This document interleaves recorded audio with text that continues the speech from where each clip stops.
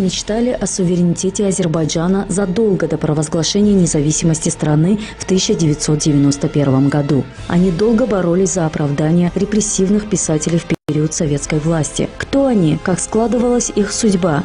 Речь идет о секретной организации, созданной студентами в Баку в 1942 году «Илдырым», что в переводе означает «молния».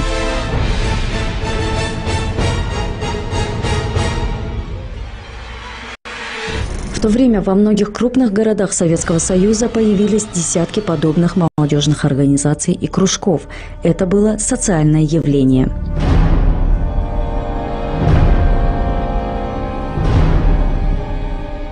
Члены организации Илдырыма вели секретную борьбу с тогдашним режимом, хотели видеть Азербайджан независимой республикой. Они боролись за оправдание и свободу писателей, арестованных в 1937-1938 годах, заклейменных как враги народа и отправленных на расстрел в Сибирь. За то, что они пытались поднять азербайджанский язык до уровня государственного.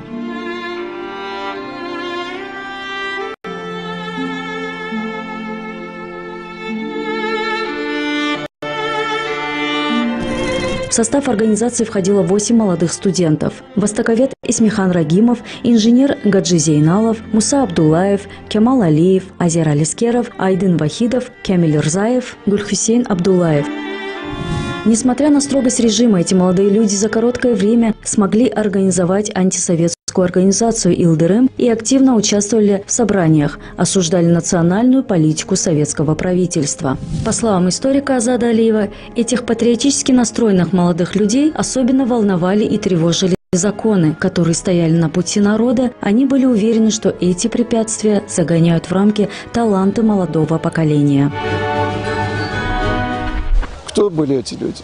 Может быть, они были чистые ленинцы. Они хотели исправить то общество, в котором они жили. Они были против лицемерия, лжи. Потому что в газетах читали одно, а в жизни видели другое. В 1943 году была создана группа Ильдырым. Почему Ильдырым? Может, по имени Алмаз Ильдырыма, поэта в изгнании. Может, Ильдырым – это освещающий темноту. Они все были студентами, аспирантами.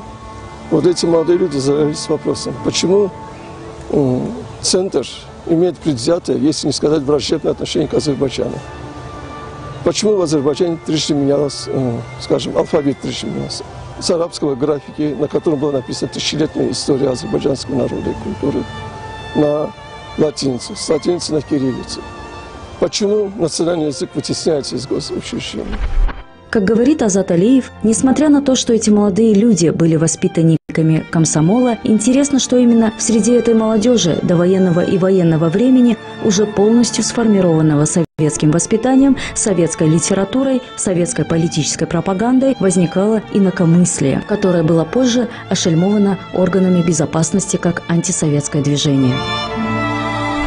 Их воспитала советская власть. Они учились э, на советской литературе, советский образ жизни вели. Но у этой молодежи, которая вот не знала прошлого, у них начали возникать сомнения. Потому что какие сомнения? Они искали вопросы на ответы. Почему реальная действительность грани, э, противоречит э, советской идеологии? Какая была их цель, этих молодых людей? Их было восемь. Ну, цель была очень элементарная поднять национальное самосознание и создать основу национальной идентификации.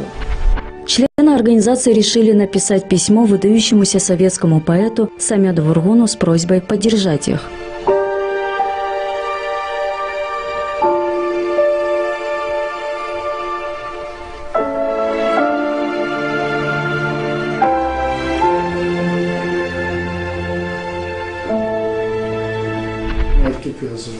Исмихан Рагимов написал это письмо под диктовку Гюльхусейна Абдулаева. Он надеялся, что письмо, написанное безотрывным почерком, если и будет изъято, то строчку не узнают. Он ошибся. В 1945 году под предлогом проверки письменных работ всем студентам было дано задание написать изложение. Почерк Исмихана узнали. Вскоре арестовали его, затем Гюльхусейна Абдулаева и других. Исмихану Рагимову, Гюбгюсейну Гусейноулу, Гаджи Зейналову был внесен смертный приговор – расстрел. Позже его заменили на 25 лет строгого режима. Остальным грозило до 10 лет тюрьмы.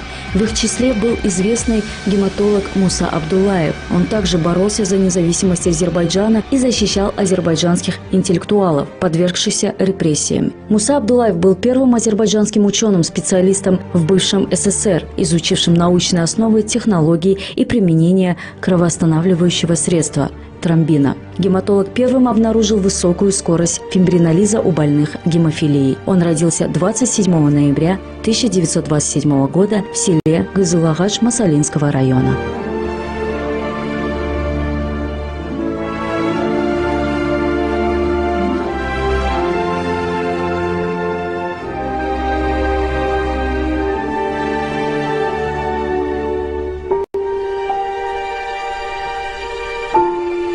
Его сын Октай Абдулаев поделился с нами своими воспоминаниями об отце. Отец очень мало рассказывал о своей жизни в изгнании. Лишь иногда, когда он собирался с друзьями. Мама рассказывала, что мой отец пережил очень тяжелые дни в годы ссылки. Семь лет он проработал врачом в колонии, спасал жизни заключенных. Однажды он даже спас одного надзирателя, который был тяжело отравлен. Октай Абдулаев говорит, что несмотря на то, что годы ссылки в сердце его отца оставили неизлечимые раны, он никогда не жалел о своем прошлом. Atam Для меня отец был в первую очередь патриотом. Он был человеком, который пострадал за страну. Он также сыграл большую роль в том, чтобы я стал врачом, и был моим первым учителем в этой сфере. Я учился у него и узнал от него многое, и сегодня я обязан только ему своими знаниями. Руфула Абдулаев вспоминает своего учителя и говорит, что, как и все члены «Молнии», его учитель был самым настоящим патриотом.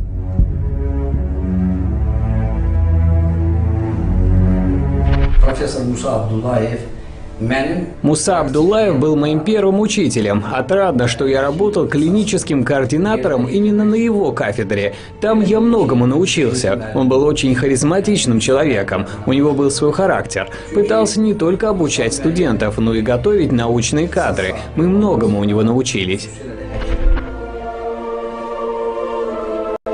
После смерти Иосифа Сталина, как и другие, Муса Абдулаев решением судебной коллегии по уголовным делам Верховного суда СССр от 22 июля 1955 года уголовное дело было прекращено, и в 1956 году он был оправдан.